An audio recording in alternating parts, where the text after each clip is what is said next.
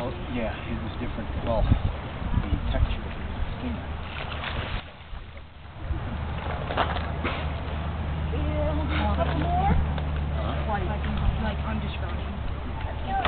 look at this. Very nice. Very uh, There's one more thing.